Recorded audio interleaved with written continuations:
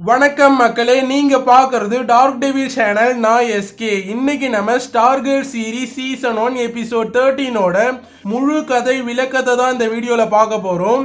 இந்த எபிசோட் தான் இந்த சீசனோட கடைசி எபிசோட் போன எபிசோடில் பேட் ஸ்போர்ட்ஸ் மாஸ்டர்கிட்ட இருந்தும் ஸ்டார்கர் கேர்ள் இருந்து எஸ்கேப் ஆகி ஒரு சேஃப் ஹவுஸ்க்கு வராங்க.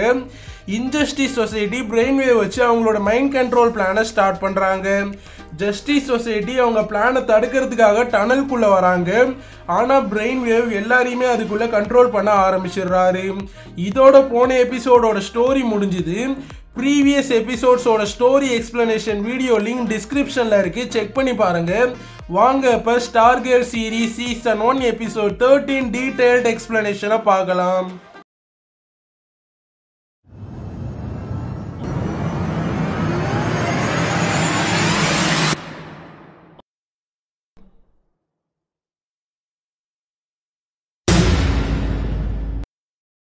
எக்ஸாக்டா மூணு நிமிஷத்துக்கு முன்னாடி என்ன நடந்துச்சுன்னு காட்ட ஆரம்பிக்கிறாங்க. பவுவினோட பையன் ஐசக் அவனை கிண்டல் பண்ணதா சொன்ன பையனை அடிச்சிடுறாரு. அப்புறம் ஒரு சார் வந்து ஏன் இப்படி அவனை அடிச்ச? உங்க அம்மா என்ன சொல்லுவாங்கன்னு கேக்குறாரு. ஐசக் எங்க அம்மா தான் அவனை அடிக்க சொன்னாங்கன்னு சொல்றாரு. அப்புறம் அந்த சார் வந்து ஐசக்கை கூப்பிட்டு போறாரு. அப்போ ப்ளூ வேலியோட ஃபுட்பால் கிரவுண்ட் ரெண்டாக ஓப்பன் ஆகி இன்ஜஸ்டிஸ் சொசைட்டியோட ப்ராட்காஸ்டிங் மிஷின் வெளில வர ஆரம்பிக்குது. அந்த மிஷின் வெளில வந்து பிரெயின் வேவோட சிக்னல்ஸை ப்ராட்காஸ்ட் பண்ண ஆரம்பிக்குது. அடல்ட்ஸ் எல்லாருமே அசையாம அப்படியே நிற்கிறாங்க ப்ளூ வேலி ஃபுல்லாகவே எல்லாருமே அசையாம நிற்க ஆரம்பிக்கிறாங்க.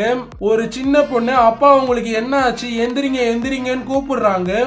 அப்போ ஜார்டன் அங்கே வந்து அந்த சின்ன பொண்ணுக்கிட்ட உங்கள் அப்பா எந்திரிக்கிறப்போ ஒரு டிஃப்ரெண்ட்டான பர்சனாக நல்ல பர்சனாக இருப்பாருன்னு சொல்றாரு. அதுக்கு அந்த பொண்ணு இப்பவே எங்க அப்பா நல்ல பர்சன் தான் சொல்றாங்க. அப்புறம் ஜார்டன் சிரிச்சுக்கிட்டே அங்க இருந்து கிளம்பிடுறாரு. டனல்ல ஸ்ட்ரைப் ஸ்டார் கேர்ள் அட்டாக் பண்ண ஆரம்பிக்கிறாரு. ஸ்டார் கேர்ளுக்கு என்ன பண்றதுனே தெரியல. ஸ்கூல்ல அந்த சார் பிரெயின்வேவோட மைண்ட் கண்ட்ரோல்ல இருந்து எஸ்கேப் ஆக ட்ரை பண்ணதுனால இறந்துடுறாரு. ஸ்ட்ரைப் ஸ்டார் கேர்ள் அட்டாக் பண்ணிக்கிட்டே இருக்காரு. அப்போ கோட்னி நான் உங்களோட பொண்ணு ப்ளூ வேலிக்கு வந்ததுல இருந்து எனக்காக நீங்க இருந்திருக்கீங்கன்னு சொல்லி பேசுறாங்க. பேட் பிரெயின்வேவோட மைண்ட் கண்ட்ரோலை ரெசிஸ்ட் பண்ண ஆரம்பிக்கிறாரு. பெத் காகுல்ஸ் கிட்ட பிரெயின் வேவோட சிக்னல் எல்லா அடல்ட்ஸையுமே அஃபெக்ட் பண்ணுது. ஏன் வில்லன்ஸை மட்டும் அஃபெக்ட் பண்ணலன்னு கேக்குறாங்க. காகுல்ஸ் அவங்களாம் ஏதோ ஒரு சிக்னல் பிளாக்கிங் ஏர் பீஸை காதுல வச்சிருக்காங்கன்னு சொல்லுது. ஸ்டார்கள் பெத் கிட்ட பிரெயின் வேவோட மைண்ட் கண்ட்ரோலை பேட் ரெசிஸ்ட் பண்ண ட்ரை பண்ணிட்டு இருக்கான்னு சொல்றாங்க. பெத் அதனால பேட் சாகிறதுக்கு கூட வாய்ப்பு இருக்குன்னு சொல்றாங்க. எல்லாருமே பெத் கிட்ட என்ன பண்றதுன்னு சொல்லி ஹெல்ப் கேக்குறாங்க. பெத் என்ன பண்றதுனே தெரியாம யோசிச்சுக்கிட்டே இருக்காங்க. அப்புறம் தான் முன்னாடி அவங்க டனல்குள்ள போனப்ப அவங்களோட சிக்னல் எல்லாம் பிளாக் ஆனதும் இப்போ அவங்களோட சிக்னல் பிளாக் ஆகாம இருக்கிறதுக்கான ரீசன் புரியுது. என்னன்னா இன்ஜஸ்டிஸ் சொசைட்டி டனல்குள்ள சிக்னல் பிளாக்கர்ஸ வச்சிருப்பாங்க. அதை இப்போ ஆஃப் பண்ணி வச்சிருப்பாங்கன்னு நினைக்கிறேன். நம்ம அதை ஆன் பண்ணா ஷைனிங் நைட்டும் பேட்டும் மைண்ட் கண்ட்ரோல்ல இருந்து எஸ்கேப் ஆக வாய்ப்பு இருக்குன்னு பெத் சொல்றாங்க. காகுல் ஸ்கேன் பண்ணி சிக்னல் பிளாக்கிங் சிஸ்டம்ஸ்லாம் இருக்கிறத கன்ஃபார்ம் பண்ணுது. உடனே கேம்பிளர் என்னோட செக்யூரிட்டி சிஸ்டமை உங்களால் ஹேக் பண்ண முடியுமான்னு கேட்குறாரு காகுல்ஸ் நான் ஹேக் பண்ண பார்த்துட்டேன். புது புது ஃபயர் வால்ஸ் வந்துக்கிட்டே இருக்கு. என்னால் பிரேக் பண்ண முடியலன்னு பெத் கிட்ட சொல்லுது. அப்போ பெத் கேம்பிளர் அவ்வளோ ஃபோக்கஸாக இருந்தானா நம்ம அவனை டைவர்ட் பண்ணணும்னு சொல்கிறாங்க காகுல்ஸ் கேம்பிளர் அவனோட மணியை தான் ரொம்ப ரொம்ப லவ் பண்ணுவான். நம்ம அதை ஹேக் பண்ணலான்னு சொல்லுது. கேம்பிளர் அதை கேட்டு செம்மையா ஷாக் ஆகுறாரு. காகுல்ஸும் பெத்தும் சேர்ந்து கேம்பிளரோட மணியெல்லாம் சேரிட்டிக்கு டொனேட் பண்ணிட்டு இருக்காங்க. கேம்பிளர் அதுல டைவர்ட் ஆனதால அந்த சமயத்துல சிக்னல் பிளாக்கர்ஸ காகுல்ஸ் ஆன் பண்ணிடுது. பிரெயின் வேவ் உட்காந்த இடத்துல இருந்து எல்லாரையுமே கண்ட்ரோல் பண்ணிக்கிட்டு இருக்காரு. டிராகன் கிங் ஏதோ பிரச்சனைன்னு அங்க இருந்து கிளம்புறாரு. பேட்டும் ஷைனிங் நைட்டும் நார்மல் ஆகுறாங்க. பேட் எனக்கு எல்லாமே கேட்டுச்சின்னு கோட்னி கிட்ட சொல்றாங்க. கோட்னி நான் எல்லாத்தையுமே என்னோட மனசுல இருந்து தான் சொன்னேன்னு சொல்றாங்க. பெத் பண்ண வேலைக்கு எல்லாருமே அவங்கள பாராட்டுறாங்க.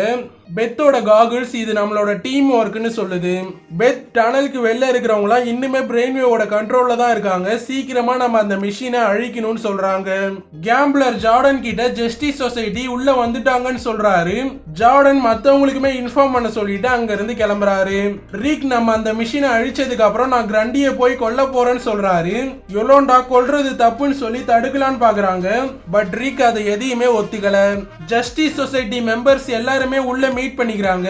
ஆனா அங்க யாருமே இல்ல. அப்போ அங்க Icicle sports master tigress dragon கிங்லாம் வராங்க.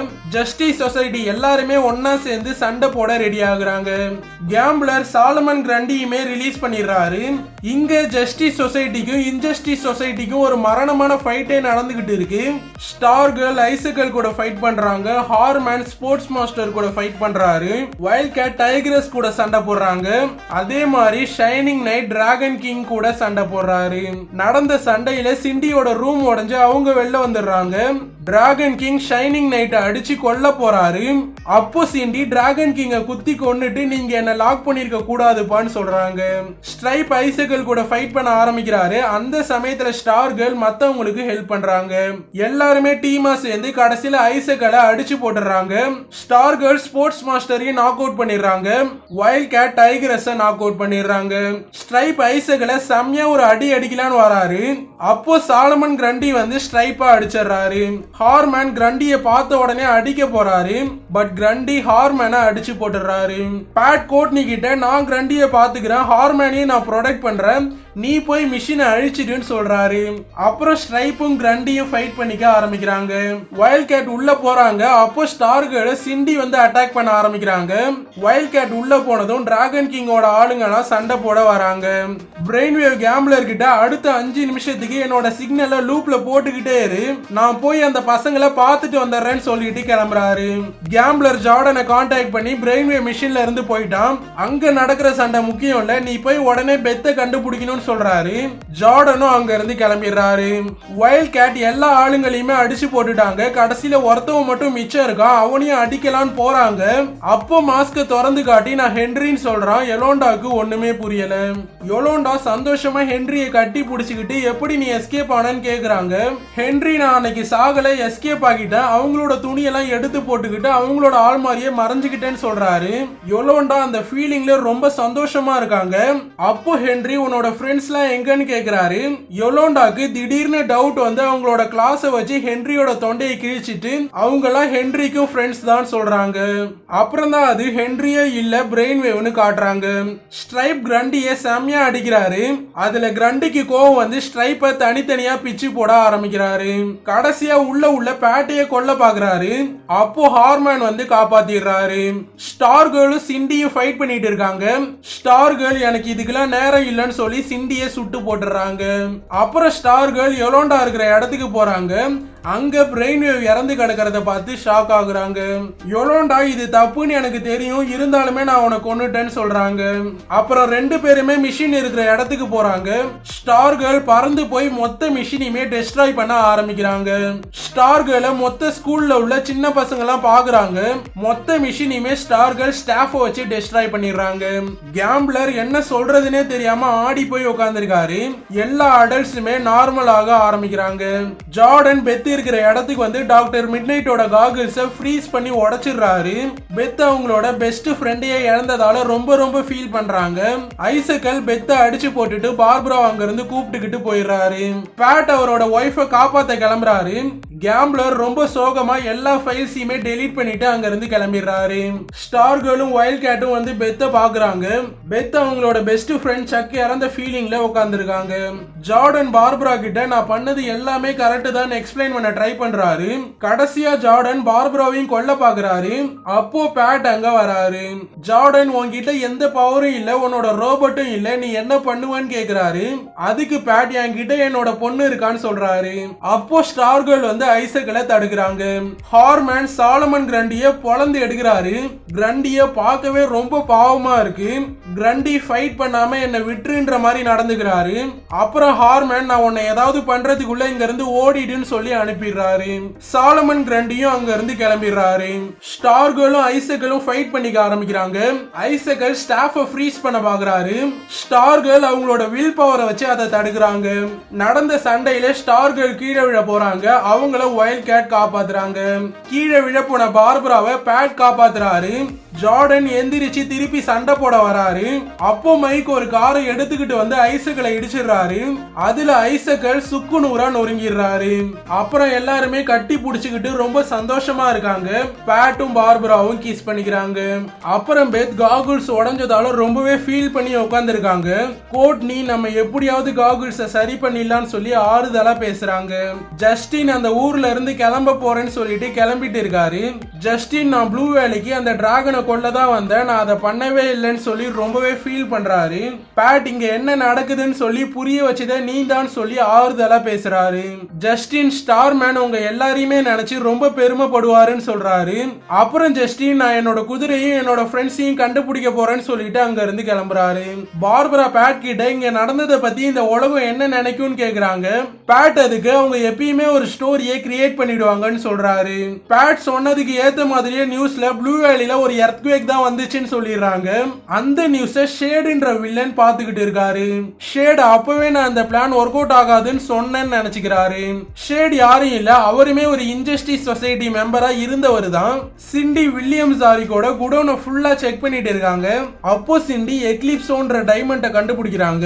இந்த எக்லிப்ஸோக்கு பின்னாடி ஒரு பெரிய கதையே இருக்கு. அதை நான் எண்டிங் எக்ஸ்பிளனேஷன் வீடியோல எக்ஸ்பிளைன் பண்றேன். அப்படியே ஒரு ஆறு வாரத்துக்கு அப்புறம் என்ன நடக்குதுன்னு காட்ட ஆரம்பிக்கிறாங்க. அது ஒரு கிறிஸ்மஸ் ஈவினிங் கோட்னி அவங்க ஃபேமிலி அண்ட் ஃப்ரெண்ட்ஸோட என்ஜாய் பண்ணிட்டு இருக்காங்க. கோட்னி பத்து வருஷத்துக்கு முன்னாடி அவங்க அப்பா கிறிஸ்மஸ் ஈவினிங் அன்னைக்கு வருவாங்கன்னு நினைச்சு ஒரு கிஃப்ட் கிஃப்ட்டை வாங்கி வச்சிருப்பாங்க. அந்த கிஃப்ட் கோட்னி பேட்டுக்கு கொடுக்குறாங்க. அந்த கிஃப்ட்டில் வேர்ல்ட்ஸ் கிரேட்டஸ்ட் டேட்னு எழுதின ஒரு மக் இருக்கு. அதை பார்த்து பேட் ரொம்பவே சந்தோஷப்படுறாரு. அப்புறம் கோட்னி அவங்க ஃப்ரெண்ட்ஸ் அண்ட் ஃபேமிலியோட சேர்ந்து ஒரு குரூப் போட்டோவும் எடுத்துக்கிறாங்க. கோட்னிய ஸ்டாஃப் வந்து கூப்பிடுது. அப்புறம் ரெண்டு பேருமே ஜாலியா பறந்து போய் ஒரு டேங்க் மேல உட்காடுறாங்க அங்க ஸ்ட்ரைப்புமே வந்து உட்காடுறாரு அப்புறம் ரெண்டு பேருமே ஒன்னா ஜாலியா கொஞ்ச நேரம் உட்காந்து இருந்துட்டு பறந்து போறாங்க. கலிபோர்னியால ஒரு காஸ்ட்லியான கார்ல இருந்து ஒருத்தவர் இறங்கி ஒரு வீட்டுக்குள்ள போறாரு. உள்ள போய் பேட் யூகன் இங்க இருக்காரான்னு கேக்குறாரு. அந்த பில்டிங் மேனேஜர் அவன் இங்க இருந்து போயிட்டான் நீங்க யாருன்னு கேக்குறாரு. அதுக்கு பேட் என்னோட ஓல்டு ஃப்ரெண்ட் என் பேரு சில்வஸ்டர் பெம்பர்டன் சொல்றாரு. இவர் தான் ஸ்டார் மேன் இவர் எப்படி உயிரோட இருக்காருன்னு நமக்கு தெரியல. இதோட ஸ்டார் கேர்ள் சீசன் ஒன்னையே முடிக்கிறாங்க. நம்ம சேனல்ல ஸ்டார் கேர்ள் சீரீஸ் ரிவ்யூ வீடியோவும் எண்டிங் எக்ஸ்பிளனேஷன் வீடியோவும் கண்டிப்பா வரும். எல்லாருமே வெயிட் பண்ணி செக் பண்ணி பாருங்க. சீரீஸ் அண்ட் மூவிஸோட இன்ஃபோஸை உடனே தெரிஞ்சுக்க சேனலோட இன்ஸ்டாகிராம் பேஜை ஃபாலோ பண்ணிக்கோங்க. இந்த வீடியோ பிடிச்சிருந்தா லைக் பண்ணுங்க. வீடியோ உங்க ஃப்ரெண்ட்ஸ்க்கும் ஷேர் பண்ணுங்க. சேனலை மறக்காம சப்ஸ்கிரைப் பண்ணி உங்களோட சப்போர்ட்டை சேனலுக்கு கொடுங்க. அடுத்து ஒரு வீடியோவில் உங்களை வந்து சந்திக்கிறேன். அது வரைக்கும் உங்களிடமிருந்து விடைபெறுவது எஸ்கே டாடா பாய் பாய்